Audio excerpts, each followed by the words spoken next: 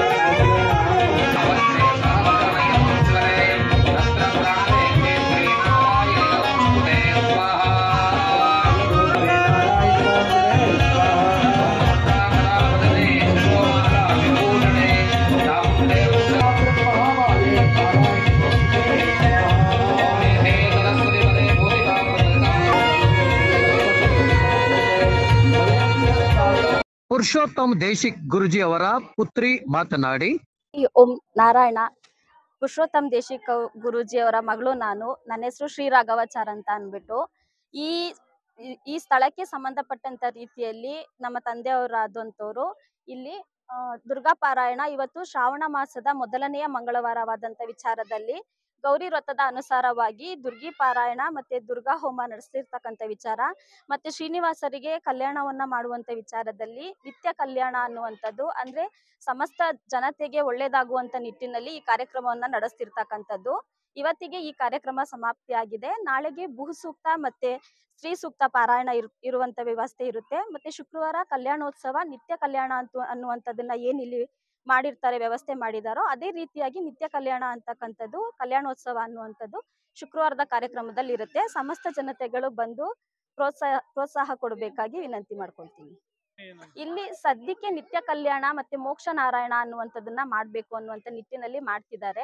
ಮುಂದುವರೆದ ಭಾಗ ತಿಳ್ಕೊಳ್ಳುವಂತ ವಿಚಾರದಲ್ಲಿ ಸ್ವಲ್ಪ ಕಾಯ್ಬೇಕಾಗತ್ತೆ ಸರ್. ಇದೆರಡು ಇವಾಗ ಪ್ರ ಪ್ರಸ್ತುತದಲ್ಲಿ ಇರುವಂತ ವಿಚಾರ ಇದೆರಡಾಗಿದೆ. ನಿತ್ಯ ಕಲ್ಯಾಣ ಮತ್ತೆ ಮೋಕ್ಷ ನಾರಾಯಣ. ಪ್ರೇರೇಪಣೆ ಶ್ರೀನಿವಾಸರ ಸ್ವಾಮಿ ಮತ್ತೆ ನರಸಿಂಹಸ್ವಾಮಿ ದೇವಸ್ಥಾನ ಅಂದ್ರೆ ನಮ್ದು ಓನ್ ದೇವಸ್ಥಾನ ಇದೆ ಸಾತ್ನೂರು ಬೆಟ್ಟದಲ್ಲಿ. ಸೊ ಅಲ್ಲಿದು ಪ್ರೇರೇಪಣೆ ಸರ್ ಕಟ್ಟುವಂತ ವ್ಯವಸ್ಥೆಗೆ. ಅಂದ್ರೆ ಈ ಜಿಲ್ಲೆ ರಾಮನಗರ ಅಂತಕ್ಕಂಥದ್ದು ಏನಿದೆಯೋ ಸೊ ಅದು ಶ್ರೀರಾಮನ ಅನುಗ್ರಹ ಆ ಸ್ಥಳದಲ್ಲಿ ಮಹತ್ವ ಇದೆ ಅನ್ನುವಂತ ನಿಟ್ಟಿನಲ್ಲಿ ಇಲ್ಲಿ ಬೆಟ್ಟ ಗುಡ್ಡಗಳು ಜಾಸ್ತಿ ಇರೋದ್ರಿಂದ ಪ್ರಕೃತಿಗೆ ಅನುಸಾರವಾದಂತ ರೀತಿನಲ್ಲಿ ಮಾಡ್ಬೇಕು ಅನ್ನುವಂಥದ್ದು ಪ್ರೇರಣೆ ಸರ್.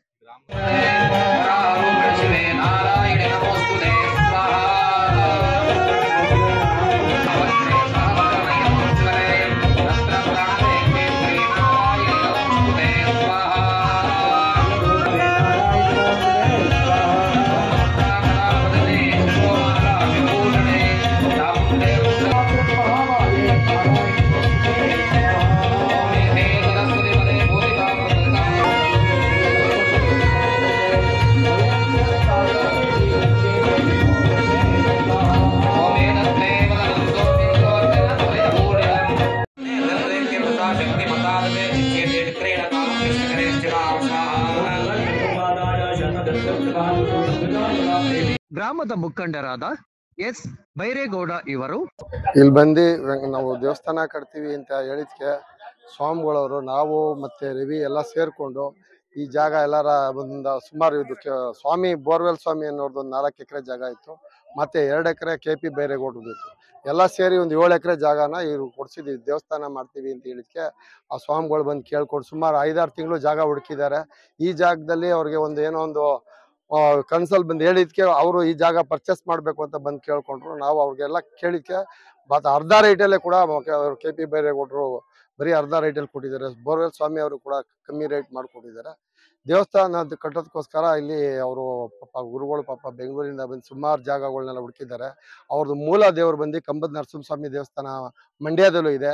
ಬೇರೆ ಕಡೆ ಎಲ್ಲೋ ಇನ್ನೂ ಒಂದು ಎರಡು ಮೂರು ಕಡೆ ದೇವಸ್ಥಾನ ಅವರೆಲ್ಲ ಮೇಂಟೆನೆನ್ಸ್ ಮಾಡ್ತಾರೆ ಅವರು. ಆ ಒಂದು ವಿಷಯದಲ್ಲಿ ಬಂದು ನಮ್ಮನ್ನು ಇದು ಮಾಡಿದ್ರು. ನಾವು ಇವರು ಎಲ್ಲ ಕೆಲವರು ಊರಿನವರೆಲ್ಲ ಮುಖಂಡರುಗಳೆಲ್ಲ ಸೇರಿ ಇಲ್ಲಿ ಒಂದು ದೇವಸ್ಥಾನದ್ದು ಮೂಲ ಆಂಜನೇಯಂದು ಒಂದು ವಿಗ್ರಹನ ಮುಚ್ಚಿದ್ದಾರೆ ಅಂತ ಊರಿನವರೆಲ್ಲ ಮಾದಾಪುರದವ್ರು ಇರ್ಬೋದು, ತಿಮ್ಮೇಗೌಡನ ದೊಡ್ಡಿಯವರು ಹೇಳ್ತಾ ಇದ್ರು. ಅದಕ್ಕೆ ಅದನ್ನ ತಗ್ಸ್ಬೇಕು ಅಂತ ಅಂದ್ಬಿಟ್ಟು ನೋಡ ಓಡಾಡಿದ್ರು ಎಲ್ಲ ಕಡೆ ಹುಡುಕಿ.